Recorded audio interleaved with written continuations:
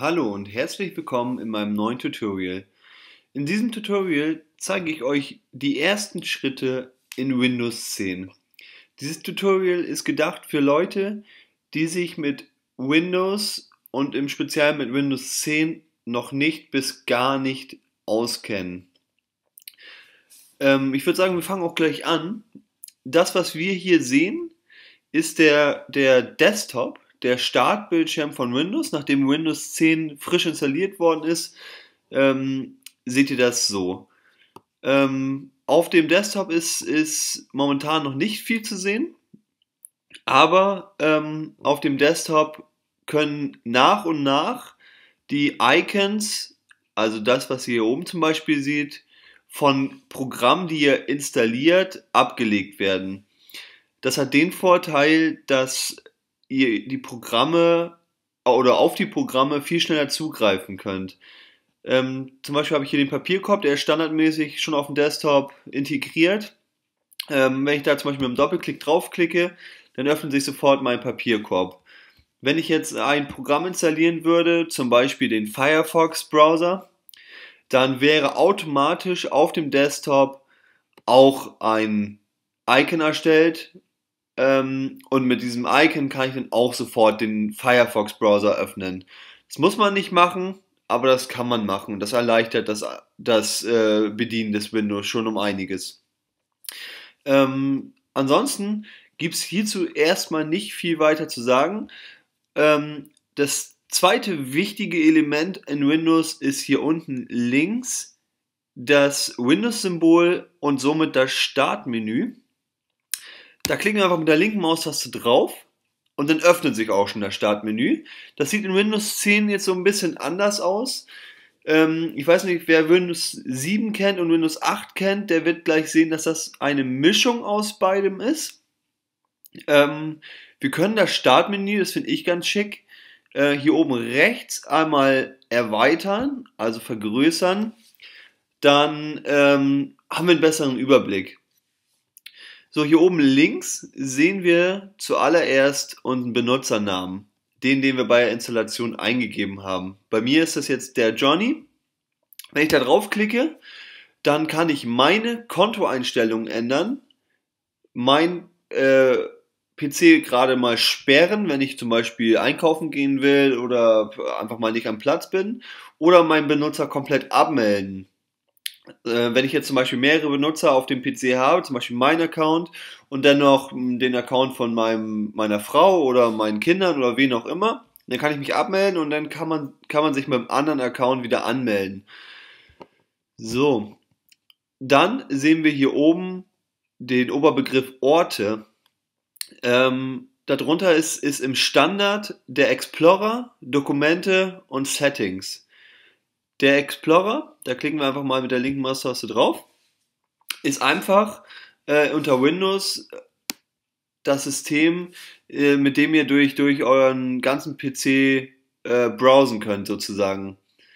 Ähm, wir sehen hier zum Beispiel den Schnellzugriff schon mal. Das sind alles angepinnte pinte, äh, Ordner, die Windows äh, von selbst aus angepinnt hat. Und darunter die OneDrive, das ist, ist die Google Cloud ähm, dieser PC, lokal, lokale Datenträger, Netzwerk und Heimnetzwerkgruppe, ähm, der Explorer ist momentan eigentlich noch recht uninteressant. Ähm, was viel interessanter ist, darunter der Punkt Dokumente. In Dokumente, äh, wie ihr seht, hat sich auch schon wieder der Explorer geöffnet, weil der Explorer ist halt das Standardelement zum, zum Browsen auf PC durch die einzelnen Ordner. Äh, unter Dokumente seht ihr eure Dokumente. Das sehen wir hier oben schon. Dieser PC und dann Dokumente.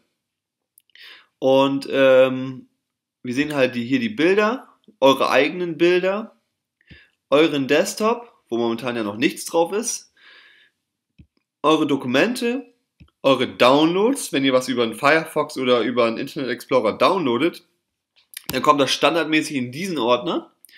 Dann eure eigene Musik, und eure eigenen Videos. Momentan noch alles leer, weil das ist die Standardinstallation und äh, da ist momentan noch nichts vorhanden. Ähm, und das war es dann eigentlich auch schon mit euren eigenen Dokumenten. Darunter kommt dann der Punkt Settings. Da klicken wir einfach mal drauf, auch mit der linken Maustaste. Hier kommen die grundlegenden PC-Einstellungen. Ähm, auf die komme ich aber später nochmal zu sprechen. So, dann sehen wir darunter den Punkt meist verwendet. Auch hier ist von Windows standardmäßig schon ein paar Sachen vorinstalliert. Ähm, wie der Name aber schon sagt, verändern sich, verändern sich die Programme. Das heißt, wenn ihr, wenn ihr oft über einen Firefox-Browser ins Internet geht, dann wird er wahrscheinlich hier irgendwann ganz oben stehen.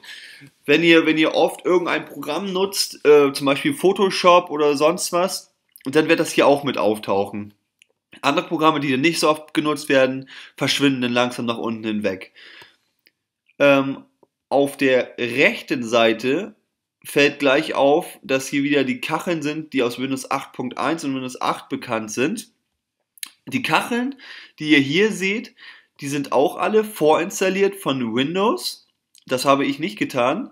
Ähm, hier ist höchstwahrscheinlich immer irgendwas mit bei, was man nicht unbedingt haben möchte oder was man nicht sehen möchte. Und das lässt sich ganz einfach entfernen, indem wir zum Beispiel, ich möchte jetzt hier den das Icon Xbox nicht mehr haben oder die Kachel Xbox nicht mehr haben, den klicke ich dort mit der rechten Maustaste drauf. Jetzt kann ich Größe ändern. Ich kann zum Beispiel kleiner machen, mittel, so wie es jetzt gerade ist, oder breit größer machen. Wollen wir aber alles nicht, weil wir wollen es ja äh, löschen. Ähm, das wäre dann hier oben der Fall von Start lösen, weil das, was ihr hier rechts seht, ist der sogenannte Start. Ähm, wir können es natürlich auch gleich deinstallieren, aber das äh, lassen wir jetzt erstmal. Also von Start lösen. Und zack ist das Feld frei.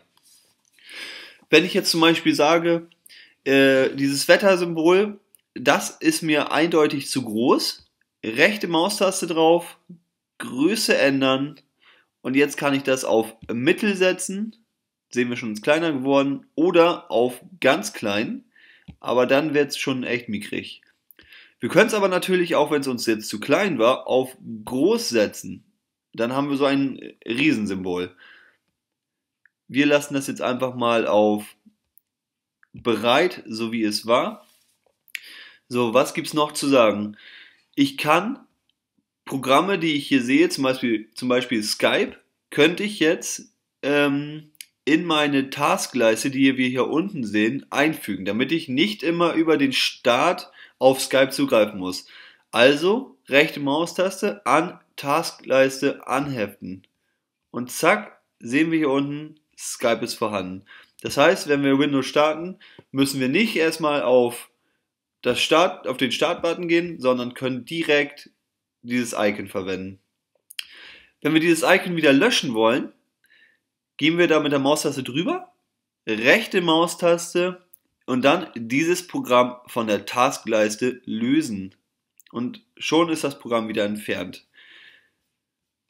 Dann entfernen wir auch mal den Internet Explorer, damit ich euch zeigen kann, wie wir den zum Beispiel, weil der im Start hier nicht vorhanden ist, zum Start hinzufügen können und vom Start zur Taskleiste hinzufügen können.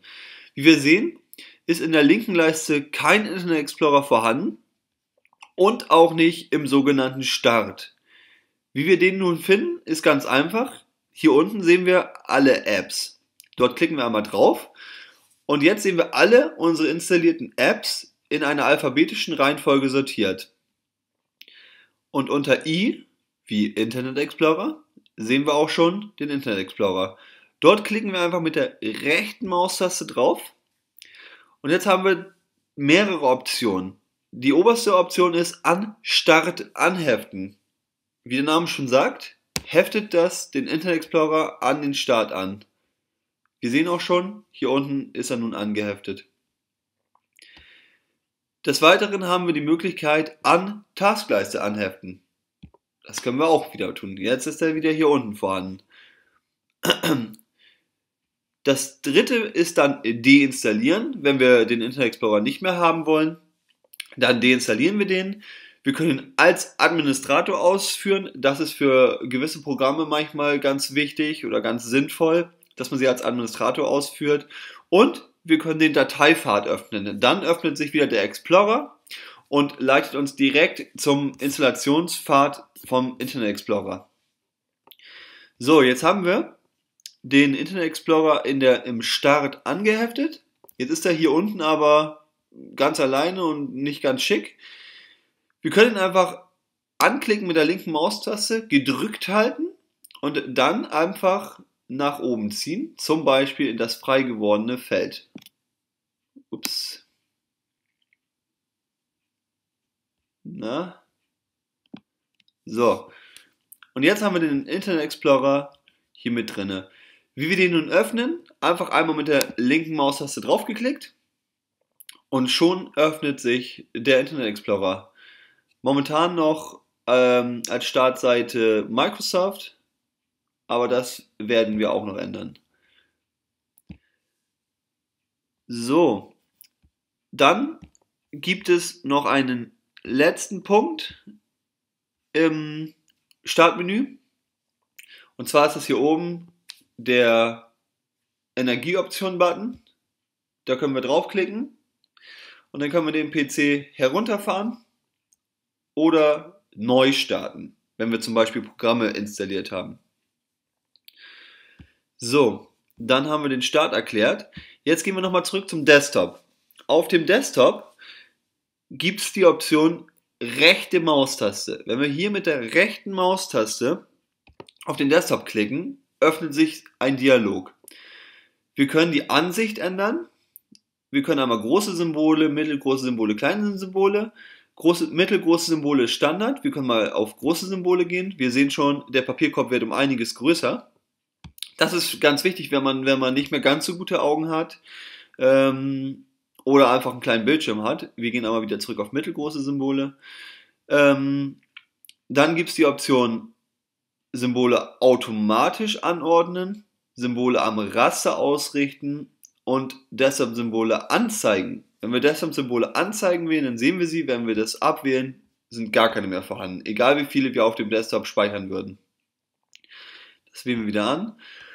Von Vorteil ist auch, wenn wir die Option äh, Symbole am Raster ausrichten, aktiviert lassen, denn dann ähm, werden die Icons akkurat in Reihe und Glied äh, auf dem Desktop geordnet. Wenn wir das nicht wählen, dann können wir sie positionieren, wo wir wollen und dann können sie sich auch ganz gerne mal überlappen. So, dann können wir sie noch sortieren nach Name, Größe, Elementtyp, Änderungsdatum. Das ist relativ selbsterklärend. Wir können den Desktop aktualisieren. Das macht er aber eigentlich von ganz alleine. Dann hätten wir die Option, dass wir was einfügen können. Wenn wir jetzt zum Beispiel eine Datei kopiert hätten äh, im Explorer, dann könnten wir hier sie nun einfügen. Wir könnten eine Verknüpfung einfügen. Wir können neue Sachen erstellen, zum Beispiel einen neuen Ordner. Wenn wir zum Beispiel unsere Urlaubsfotos auf dem PC speichern wollen, dann können wir dies natürlich in unserem eigenen Bilderordner tun. Wir können es aber auch auf dem Desktop tun, indem wir einfach den Ordner, einen Ordner erstellen. Den Ordner nennen wir jetzt zum Beispiel Bilder und dann hätte ich hier meinen Ordner Bilder und dort könnte ich Bilder abspeichern. Dann gibt es noch äh, die Option Verknüpfung.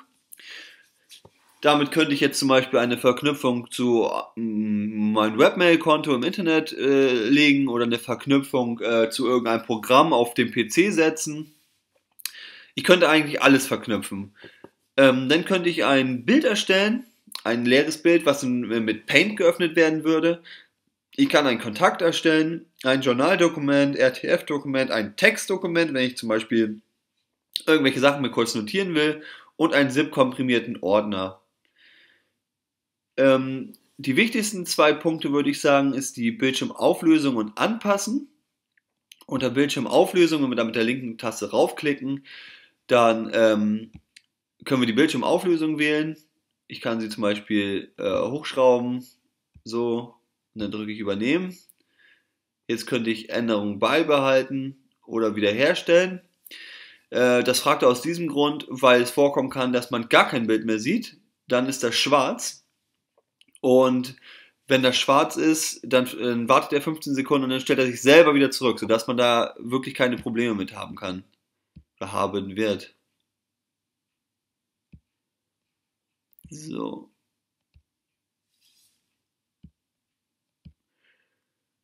Dann könnte ich jetzt noch, wie gesagt, die, die Grafik noch ein bisschen höher stellen.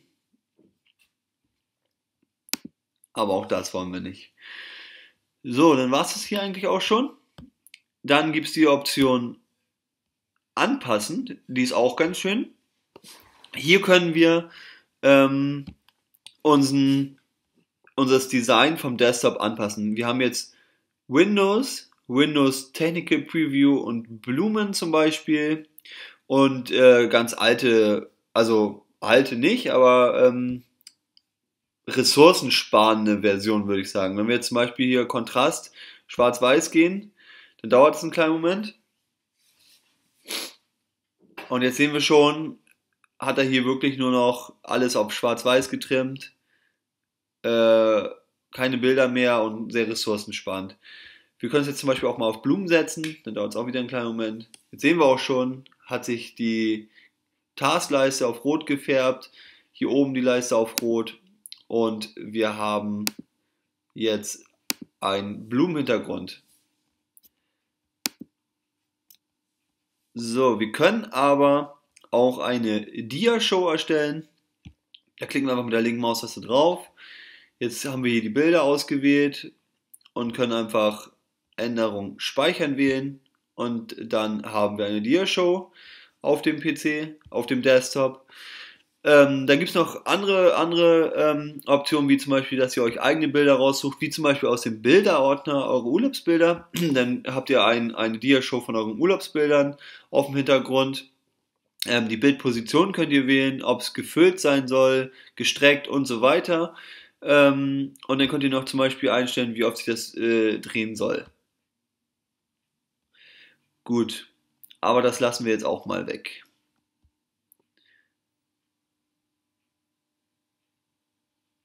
So. Dann gibt es die Farbe, die ist momentan auf automatisch gestellt. Ihr könnt ja auch selbst eine Farbe wählen. Ihr könnt zum Beispiel sagen, ich will es grün haben, ich will es gelb haben, wie auch immer. Ich finde grün zum Beispiel ganz schön. Dann können wir die Farbintensität wählen, wie, wie stark das sein soll. Ne? Also wir sehen oben die Leiste, wie sich sie verändert. Wir nehmen mal ganz, ganz krass grün. Wir haben Farbmixer, und da können wir dann halt nochmal ganz individuell einstellen. Zum Beispiel auf Pink. So. Ne? Wir lassen das aber grün für den Test. Änderung speichern und dann bleibt das auch so. Wir können die Sounds einstellen von Windows, was bei welchem, bei welchem äh, Zustand kommen soll. Äh, zum Beispiel, wenn der Akkustand niedrig ist und, und, und, und, und. Da können wir auch eigene Sounds einstellen. Des Weiteren haben wir die Möglichkeit, einen Bildschirmschoner einzustellen. Der ist momentan nicht eingestellt. Wir können aber sagen, okay, wir wollen einen Bildschirmschoner haben, einen 3D-Text zum Beispiel. Dann sehen wir hier auch eine Vorschau. Wir können äh, Fotos machen, wieder unsere Urlaubsfotos ähm, und so weiter und so fort. Dann können wir die Wartezeit einstellen, wie lange es dauern soll, bis der Bildschirmschoner kommt. Und äh, wir, soll, wir können einstellen, ob, wenn der Bildschirmschoner sich selber aktiviert hat, ob, wenn man den deaktiviert, ob man dann erstmal wieder sich anmelden muss. Mit seinem Passwort zum Beispiel. Wir lassen es aber auch auf Keim. So. Dann gibt es noch die Möglichkeit, ich hatte euch vorhin gezeigt, wie ihr die Icons auf dem Desktop vergrößern könnt, falls man halt nicht so gut schauen kann. Es gibt es hier auch noch die Möglichkeit, unter Anpassen die, die, der Unterpunkt Anzeige gibt es hier die Möglichkeit, äh, die Größen aller Elemente zu ändern. Ich kann sie hier also groß machen. Das lassen wir aber auch. Dann kann ich nur die Texte ändern. Zum Beispiel von den Titelleisten kann ich sagen, die Titelleisten, die sollen bitte alle 20 haben in der Schriftgröße. Wenn ich jetzt übernehmen wähle, dann dauert es einen kleinen Moment und dann sehen wir auch schon hier oben, die Anzeige ist ziemlich groß geschrieben. Die setze ich wieder runter auf 9. So. Und das kann ich mit den Menüs machen, mit den Meldungsfenstern, äh, mit den Palettentiteln, Symbolen und den Quick-Infos. Ich kann sie mir quasi alle individuell vergrößern. So, dann war es das auch mit dem Desktop. Dann gibt es die Option Settings, die hatte ich euch vorhin schon einmal gezeigt. Dort können wir diverse Einstellungen zu unserem Windows-PC vornehmen. Wir können zum Beispiel unter System die Anzeige, die Benachrichtigung, Energie und so weiter ändern. Hier sehen wir nochmal alles über den Desktop, Benachrichtigungen und Infos. Sehen wir, ob wir, das ein, ob wir das aktiviert haben wollen oder nicht. Das ist das, was wir, was wir hier sehen. Und so weiter. Dann können wir die Suche einstellen, die Sprache, welche Sprache wir verwenden sollen, wollen. Die ist momentan auf Englisch voreingestellt. Ähm, und so weiter. Hier oben links kommen wir zurück zum System. Hier haben wir einmal unsere Geräte. Wenn wir jetzt zum Beispiel einen Drucker anschließen würden oder Kopfhörer anschließen würden oder einen Scanner und so weiter sehen wir die Geräte hier mit drin. Ähm, dann haben wir unser Netzwerk und Internet. Das ist eigentlich nach der Installation von Windows schon voreingestellt und sollte auch funktionieren. Wir können aber auch hier unter Netzwerk und Internet ähm, unser Netzwerk nochmal einstellen. Zum Beispiel WLAN, Show Available Connections sehen wir hier ähm, unsere Verbindung, die wir momentan auswählen können. Wenn wir WLAN nutzen, dann würden hier die einzelnen WLAN-Netzwerke angezeigt werden. Dann haben wir den Flugmodus, Mobilfunk, VPN und so weiter. Die Elemente hier, die können variieren. Es kommt darauf an, ob ihr Windows 10 auf dem, auf dem Laptop benutzt, auf dem Notebook oder auf einem normalen Desktop-PC. Ähm, je nach Variante verändern sich die Punkte hier auch. Dann haben wir die Personalisierung, das habe ich euch eben schon gezeigt. Da sind wir über den Desktop drauf zugegriffen. Ähm, ja, dann haben wir unsere Konten. Das ist auch sehr schön. So können wir zum Beispiel ein neues Konto hinzufügen. Mein Konto ist momentan ja der Johnny. Ähm, ich kann mir jetzt zum Beispiel mein Bild ändern. Ich kann mein eigenes Profilbild hinzufügen. Ähm, dann habe ich die Möglichkeit, die Anmeldeoptionen zu ändern. Ich kann sagen, ich möchte eine PIN haben, ich möchte ein Kennwort haben oder ich möchte ein Bildcode haben. Ähm, dann haben wir hier Ihr Arbeitsbereich.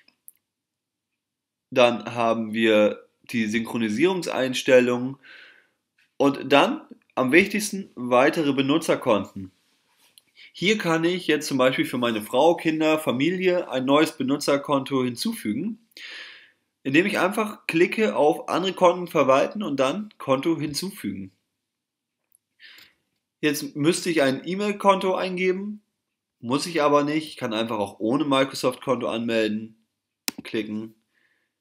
Dann wähle ich aus, ist das ein Microsoft-Konto, ein lokales Konto? Natürlich ein lokales Konto.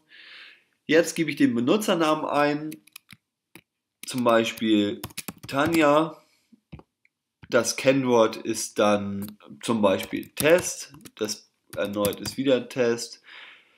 Der Kennwort-Hinweis könnte ich dann einen Hinweis zu meinem Kennwort geben.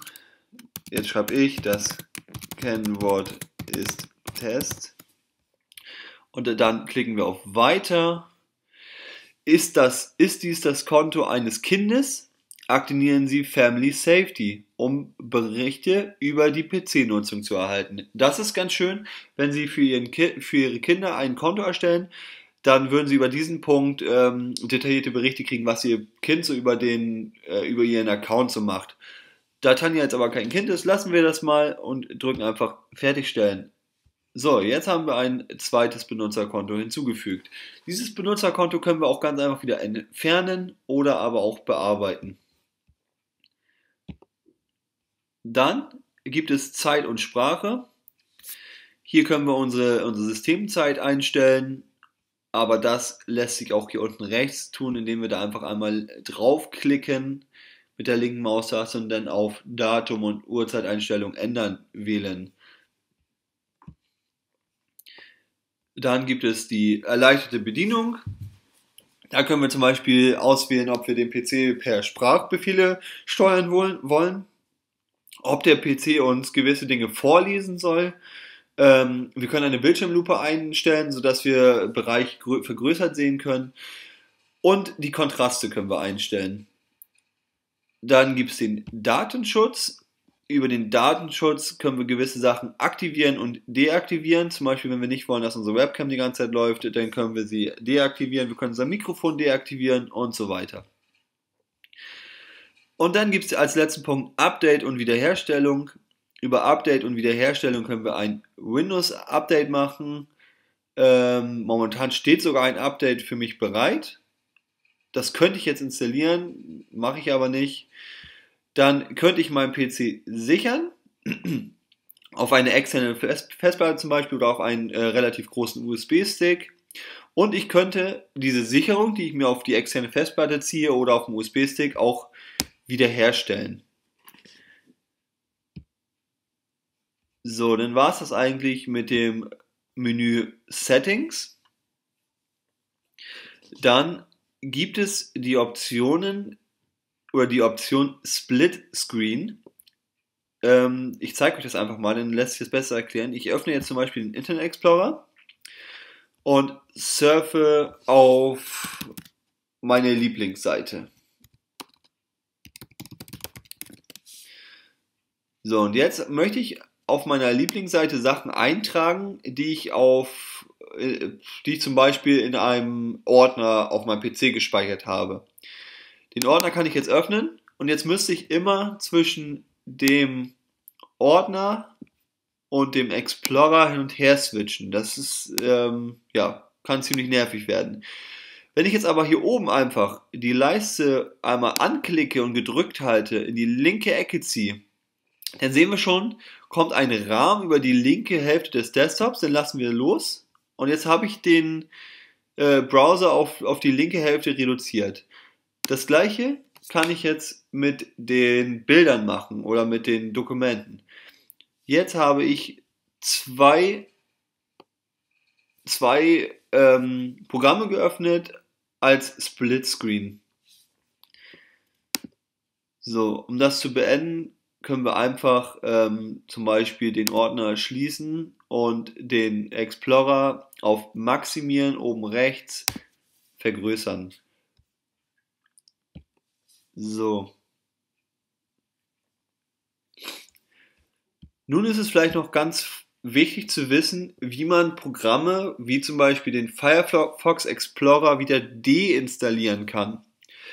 Man kann, das habe ich euch vorhin auch schon mal gezeigt, Programme deinstallieren, indem man ähm, zum Beispiel den Internet Explorer mit der rechten Maustaste anklickt und dann deinstallieren wählt. Man kann aber auch über Settings gehen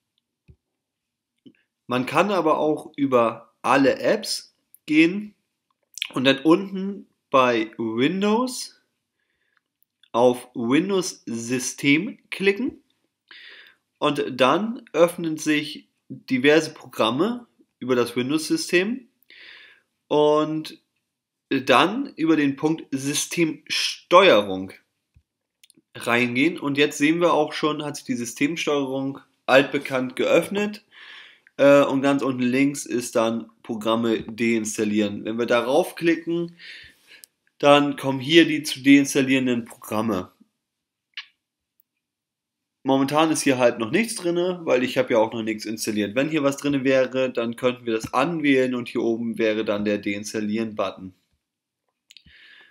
Wir haben aber auch die Möglichkeit unter Windows und System ähm, unter Systemsteuerung noch diverse andere Dinge zu regeln, wobei ähm, im Groben und Ganzen das schon ziemlich dasselbe ist wie unter Settings.